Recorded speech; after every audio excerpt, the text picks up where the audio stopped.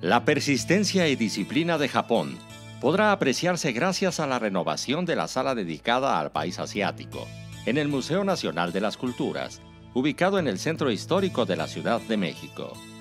La Sala Japón, que contiene 120 piezas sobre el arte y aportaciones de dicho país, fue renovada bajo la curaduría de la antropóloga Silvia Seligson. Vamos a tener la influencia, desde luego, en la llamada ceremonia del té, así como la cultura del guerrero, es decir, del samurái. La tercera sección ya eh, eh, nos habla de las creencias y costumbres, finaliza con la cuarta sección de aportaciones.